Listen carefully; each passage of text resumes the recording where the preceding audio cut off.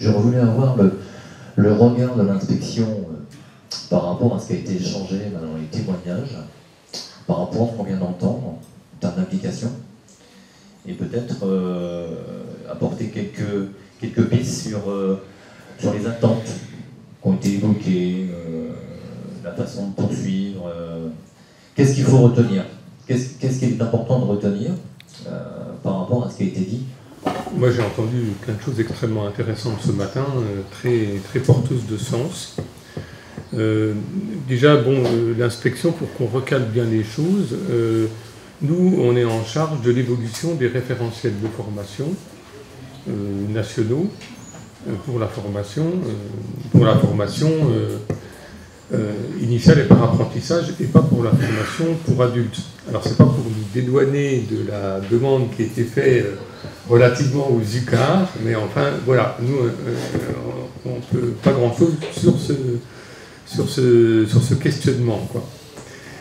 Et donc, euh, ce qu'on travaille, nous, c'est ce qui se passe au niveau des référentiels de formation nationaux, des diplômes nationaux. alors, ce qui veut dire aussi qu'il se passe autre chose il se passe quelque chose sur les, donc sur les exploitations et en dehors aussi, on a vu dans les témoignages à l'échelle de l'établissement. Donc on, peut se poser la question, euh, quelle est la place euh, de la permaculture dans les référentiels de formation euh, aujourd'hui, les référentiels de formation nationaux? Alors quand on dit référentiel de formation, maintenant tout le monde le sait, on travaille surtout à certifier des capacités au sein d'un diplôme. Donc les contenus euh, qui sont apportés pour préparer ces capacités sont plus larges. Ce qui laisse une initiative importante au niveau des équipes dans les établissements pour s'emparer de supports de formation, dont la permaculture. Et puis il a été évoqué euh, des, des milles, euh, des EIE, des UCAR, c'est autant de, de volume de formation qui sont à l'initiative des équipes. Et ça, ça représente environ 15% des volumes de formation, ce qui est déjà considérable. Et il faudrait ajouter à ça les périodes en milieu professionnel, qui selon les formations représentent 10, 12, 14, 7 semaines, où là aussi ça permet d'aborder le sujet. Donc vous voyez que euh, au-delà du référentiel de formation qui, euh, je l'ai entendu, a tendance à contraindre, il laisse aussi un espace de liberté extrêmement intéressant. Alors, euh, juste quelques éléments euh, très rapides, puisqu'il faut l'être. Euh, pourquoi, en fait, la permaculture, ça peut être un objet d'apprentissage intéressant au niveau de la formation? Bah, Déjà parce que ça intéresse, ça suscite la curiosité, et la curiosité, c'est le moteur de l'observation. On a vu par M. Léger, que ce qui était intéressant, c'est de pouvoir observer. Et l'observation est source de questionnement.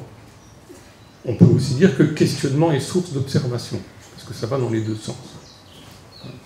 On observe mieux encore quand on se pose des questions. Donc, pourquoi, pourquoi la, permaculture peut avoir une place dans les référentiels de formation? C'est parce qu'elle suscite de l'intérêt, et donc des questionnements, et donc de la réflexion. C'est ça, pour moi, le cœur de la chose. Alors, de l'intérêt de la part des gens qui viennent se former et de l'intérêt de la part des formateurs et des enseignants. C'est deux niveaux. Alors, euh, il y a aussi euh, des éléments qui, en soi, euh, la, permaculture est intéressante parce que c'est un objet nouveau aussi. C'est un objet qui est dans la, qui correspond à une préoccupation sociale, sociétale. On s'interroge sur la permaculture. Et donc c'est un sujet qui permet de discuter et de réfléchir. C'est un sujet qui peut être considéré comme une question socialement vive, hein, puisqu'on voit que c'est pas toujours bien perçu, pas toujours. Euh, donc une question socialement vive, c'est tout à fait intéressant et riche en matière de discussion. Donc là aussi, c'est pour ça que ça beaucoup, euh, c'est intéressant de, de, s'en emparer. Après, euh, c'est intéressant parce qu'on peut avoir et dans l'enseignement technique, on y est sensible, on peut avoir une approche pratique, voire, comme l'a dit Lamia, une approche sensible. C'est-à-dire que sur les exploitations, avec des gens en formation, avec des élèves, on peut euh, aller sur le terrain, réfléchir, mettre en pratique, se questionner. Et donc ça, c'est un gros avantage de la permaculture, c'est que c'est quelque chose de concret, de sensible, qui peut être mis en œuvre assez facilement. Voilà. Un autre élément qui est très favorable à, une pédagogie intéressante, c'est que c'est éminemment pluridisciplinaire, transdisciplinaire, et que ça touche euh, des formations très différentes, l'écologie bien sûr, l'agronomie, euh, l'éducation socioculturelle, le paysage, euh, aussi bien le commerce, donc ça peut toucher énormément de disciplines qui peuvent travailler ensemble sur un objet commun. Donc là aussi, toutes les plages de, pluridisciplinarité peuvent être mobilisées euh, pour la permaculture. Voilà, donc euh, juste une petite chose, je, réappuie sur le fait que euh, ce qui a été produit par la Bergerie nationale avec le webdoc et le film, c'est vraiment des ressources essentielles.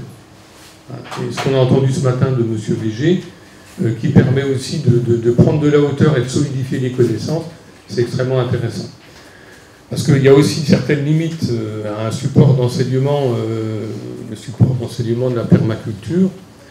Euh, c'est effectivement qu'à la base, il y a une connaissance du concept et de ses applications qui peut être considérée comme souvent partielle, voire floue.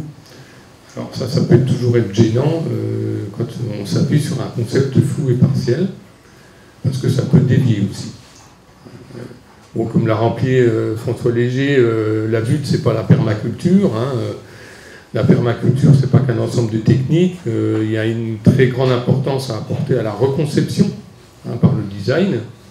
Et donc, ça, il faut, il faut, vraiment avoir des connaissances et une appréhension assez solide de ce qu'est la permaculture avant de pouvoir s'en emparer comme objet pédagogique. voilà, donc ça, c'est. Et puis après, pour être extrêmement court, hein, euh, je, pense que, effectivement, si ça suscite l'intérêt des élèves et si ça suscite l'intérêt des formateurs et des enseignants, c'est une très bonne chose parce que ça développe la curiosité. Mais il faut garder une certaine objectivité critique par rapport à l'objet qui motive, pour pouvoir justement euh, le relativiser et en faire un objet de formation, et donc ne pas rentrer dans dans un militantisme qui pourrait être trop euh, gênant.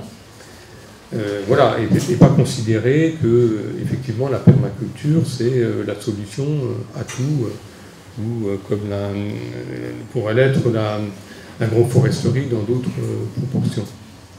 Parce que j'ai retenu aussi de, donc, les, témoignages qui, avaient, qui ont été portés ce matin ne portaient assez peu finalement sur la permaculture dans les référentiels de formation. Donc là, c'est un apport un peu différent. Et ce que je trouve qui est vraiment intéressant, c'est que ça oblige à observer, à questionner, à remettre en question euh, ce qui peut être considéré comme établi. Donc ça, c'est bien euh, la formation qui s'inscrit dans le temps long. On a parlé du temps long. On forme des élèves pour qu'ils puissent avoir un esprit critique et s'adapter tout au long de leur carrière comme on l'a vu, il y a différentes euh, techniques, méthodes, concepts qui, vont, qui évoluent, et donc les élèves, on les forme à ces évolutions. On ne les forme pas à la permaculture. Hein, voilà, spécifiquement. Merci François. Euh, pour, clôturer sur le, regard de l'inspection, en termes d'intitulé sur les diplômes, je crois qu'on a euh, un complément qui va avoir lieu. Ce n'est pas tout à fait en termes d'intitulé, mais en termes de changement de paradigme et d'évolution de, des référentiels. Donc j'ai été pilote de la rénovation du BTS ex-production horticole. Oui, ex-production horticole, et donc vous savez qu'au préalable, il y a tout un travail d'enquête auprès de, la profession, des diplômés, euh, des diplômés de ce BTS, du devenir et des évolutions des métiers. Euh, je dirais que ce travail m'a fortement secoué parce que la profession m'a renvoyé bah, tout ce qu'on a vu ce matin, hein, entre autres, et puis euh, d'autres aspects sur l'évolution des métiers et sur cette approche plurielle du métier, des métiers qu'on regroupait sous le terme horticulture. Ce qui fait que les professionnels m'ont dit qu'ils ne se retrouvaient pas sous ce terme horticulture, qui était très connoté productiviste, qui ne représentait pas toutes les agricultures plurielles derrière l'horticulture. Et donc, à un moment donné, euh, j'avais aussi travaillé avec la FOP, donc euh, on a introduit la permaculture, et sachez que j'ai bataillé pour faire reconnaître la permaculture, les drifts ne voulaient pas enquêter euh, dans ce domaine-là, donc on y a réussi, et après ils ont été passionnés parce qu'ils ont, ils ont découvert. Donc pour moi, c'était cette réussite-là, je, je, la, je la fais mienne, et ça m'a importé. Et, donc, à un moment donné, eh bien évidemment, on a pris tous ces éléments en considération. Donc, le BTS métier du végétal. Donc là, on a vraiment fait un travail. Les professionnels nous ont dit, nous, on ne veut plus cette dénomination. Euh, donc, on a fait un travail de recherche, de, travail complémentaire et ensuite de recherche de dénomination. Et c'est très très compliqué parce que pour l'instant, il n'est pas reconnu. Et en plus, pour, la, pour Parcoursup, les, les mots-clés dans le moteur de recherche ne seront pas en adéquation. Ce qui fait que cette année, on a eu beaucoup de difficultés de recrutement. On a voulu changer, faire évoluer ce BTS qui correspond des plus hauts professionnels hein, et pas à l'institution. Et donc c'est vrai qu'on est parti sur une dénomination un peu compliquée. Alors on était resté sur métier du végétal, c'était alimentation, ornement, environnement. On aurait peut-être mm. Même plus d'ouvrir plus vers le volet euh, sociétal. Mm. Euh, ça a été à un moment, il y a eu une décision de la DGR, ça a été supprimé, mais l'idée c'était on ouvrait large parce que ces métiers-là, on voit bien aujourd'hui que ces agricultures, que j'appelle plurielles, euh, dont la permaculture, bah, font partie des métiers futurs. Et donc ce BTS qui va être rénové pour 10 ans, euh, doit répondre à cela. Donc essayez, s'il vous plaît, de transmettre l'information, de, de, faire que ce, BTS soit, reconnu en tant que tel et qu'on ne dise pas encore, comme j'ai entendu la mienne, mais je m'excuse, production horticole. Parce que du coup, si on traîne production horticole pendant des années, on ne va pas s'en sortir. Les formations, les diplômes, c'est pour de l'emploi. Je vais au cours, hein, je vais au plus court. Hein. Et derrière, euh, pourquoi il y a des emplois Parce a des entreprises en ont besoin et que dans les comités euh, paritaires, dans la décision, euh, il y a un poids majeur la DGER et l'institution se, doit d'être dans la continuité, l'accompagnement des attentes aussi économiques, parce qu'on est dans un environnement économique où le travail génère l'activité et euh, l'existence en termes de, société. Voilà, donc on a besoin aussi bah, d'être dans le processus d'évolution, donc on compte sur tout le monde, hein, pour qu'au niveau du vocabulaire, on progresse assez rapidement pour remplir aussi, parce que derrière, c'est aussi remplir euh, nos établissements qui sont des outils merveilleux d'enseignement, mais euh, quand on est à des effectifs qui baissent, on se pose la question, et derrière, l'institution dit est-ce qu'on maintient ou pas? Donc attention, vigilance. C'est nos emplois, nos activités, c'est notre raison d'être aussi en tant qu'acteur de la vente.